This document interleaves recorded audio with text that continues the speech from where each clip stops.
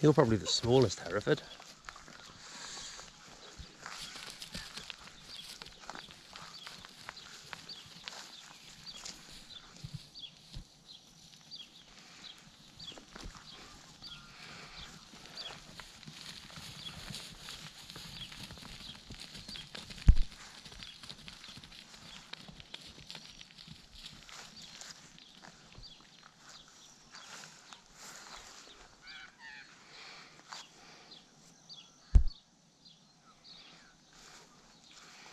Hey, Belge. That's Nadia's one.